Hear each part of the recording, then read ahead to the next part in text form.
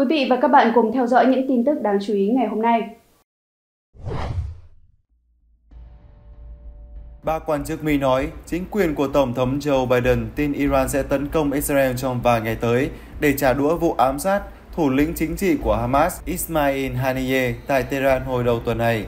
Hãng tin Axios dẫn lời các quan chức Mỹ cho biết họ đoán rằng bất kỳ một cuộc trả đũa nào của Iran sẽ chống lại cuộc tấn công Israel vào ngày 13 tháng 4, nhưng với quy mô lớn hơn và có thể có sự tham gia của nhóm Hezbollah ở Liban. Thủ lĩnh chính trị của nhóm Hamas Imas Haniyeh đã bị ám sát vào ngày 31 tháng 7 khi đang ở thủ đô Iran để dự lễ nhậm chức của Tổng thống Iran. Hamas, nhóm quân có trụ sở tại Gaza cho biết, ông Haniyeh bị tấn công bằng tên lửa vào nơi ở tại Tehran. Tuy nhiên, tờ New York Times lại cho hay vụ ám sát được thực hiện bằng một thiết bị nổ được đặt bên trong nơi nghỉ của thủ lĩnh Hamas. Cả Hamas và Iran đều đổ lỗi cho Israel về vụ tấn công và thề sẽ trả thù lãnh tụ tối cao Iran Ayatollah Ali Khamenei tuyên bố rằng nhiệm vụ của Tehran là trả thù cho vụ ám sát của ông Haniyeh và trừng phạt nghiêm khắc Israel sau vụ ám sát. Iran cũng tuyên bố rằng Mỹ sẽ phải chịu một phần trách nhiệm về vụ tấn công này vì Washington đã ủng hộ và đồng lõa với Israel.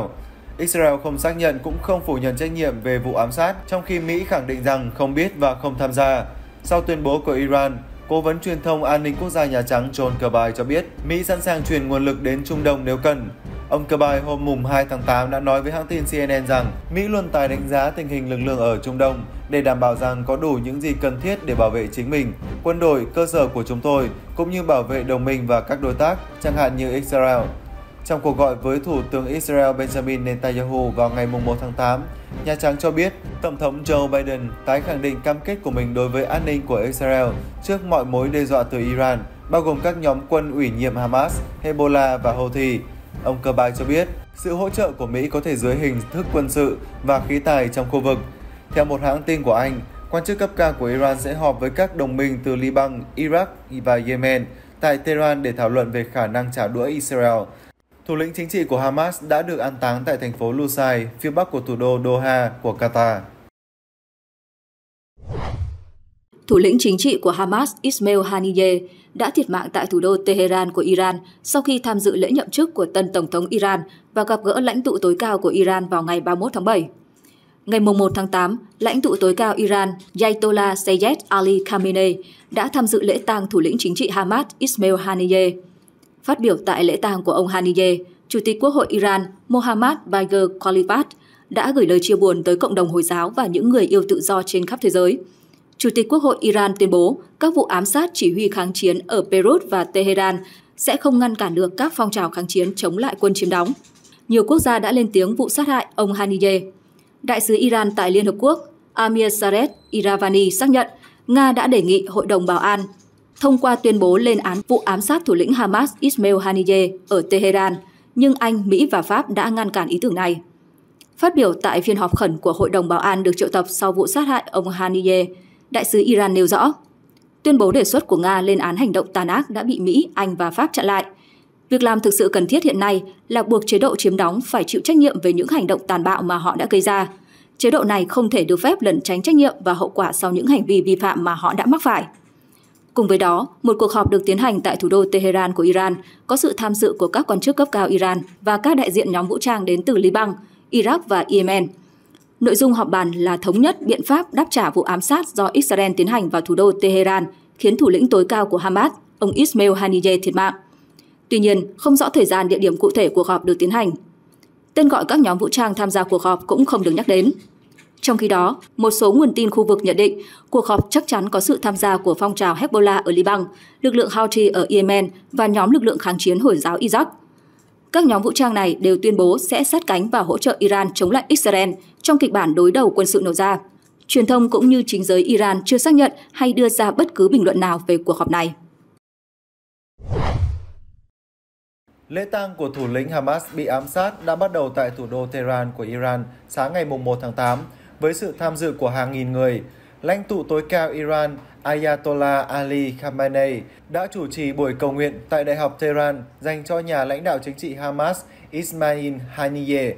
Thi hài của thủ lĩnh Hamas bị ám sát, sau đó sẽ được chuyển đến thủ đô Doha của Qatar vào chiều ngày 1 tháng 8, trước lễ chôn cất vào ngày 2 tháng 8. Khalil al-Hayya, phó lãnh đạo Hamas tại giải Gaza, phát biểu tại lễ tang của nhà lãnh đạo chính trị Hamas Ismail Haniyeh tại Tehran. Quốc gia hôm nay đang mang quan tài của ông ấy và quốc gia hôm nay đang dương cao ngọn cờ thanh chiến và kháng cự hướng tới mục tiêu giải phóng Palestine và Jerusalem. Với niềm tin của đất nước và tâm hồn của người Palestine, chúng tôi tin chắc rằng vụ ám sát Ismail Haniyeh sẽ khiến cho toàn thể nhân dân thế giới phẫn nộ với Israel. Việc nhà lãnh đạo Hamas bị ám sát tại Iran khiến cho cái chết của ông ngày càng trở nên đau đớn hơn đối với quốc gia chủ nhà và có khả năng sẽ thúc đẩy họ đưa ra phản ứng dữ dội hơn.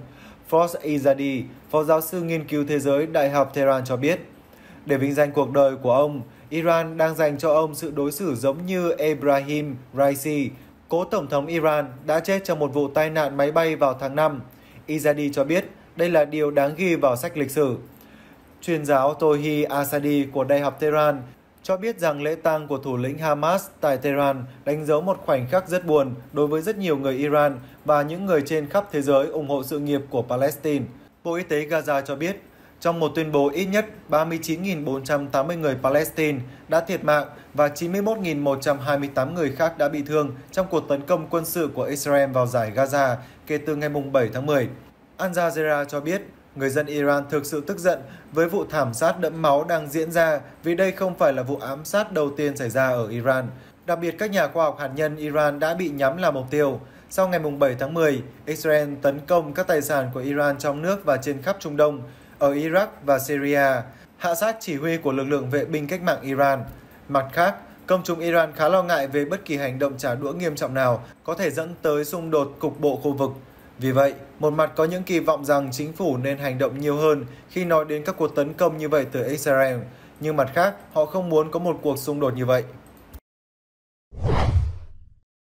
Ông Khaled Messan, người sắp trở thành lãnh đạo mới của Hamas, từng nổi tiếng khắp thế giới vào năm 1997. Sau khi các điệp viên Israel tiêm thuốc độc vào ông trong vụ ám sát bất thành tại thủ đô Amman của Jordan, vụ ám sát nhằm vào nhân vật cấp cao chủ chốt trong phong trào của người Palestine đã khiến cho vua Hussein của Jordan khi đó vô cùng tức giận, đến mức ông tuyên bố sẽ treo cổ những người đã hãm hại và hủy bỏ hiệp ước hòa bình với Israel nếu thuốc giải không được giao nộp. Israel chấp nhận điều đó và cũng đồng ý thả nhà lãnh đạo Hamas Ahmed Yassin rồi tháng 7 năm sau lại ám sát ông ở giải Gaza. Đối với người Israel và người phương Tây, Hamas đã thực hiện những vụ đánh bom cảm tử ở Israel và tiến hành nhiều hoạt động khác để thực hiện quyết tâm phá hủy Israel. Đối với những người ủng hộ Palestine, ông Messan và ban lãnh đạo Hamas là những chiến binh đấu tranh cho sự nghiệp giải phóng khỏi sự chiếm đóng của Israel khi ngoại giao quốc tế không có tác dụng. Ông Messan, 68 tuổi, trở thành lãnh đạo chính trị lưu vong của Hamas một năm trước khi Israel cố gắng loại bỏ ông. Vị trí này khiến cho ông trở thành người đại diện cho phong trào của người Palestine tại cuộc gặp với chính phủ nước ngoài trên khắp thế giới mà không bị cản trở bởi những hạn chế đi lại chặt chẽ của Israel.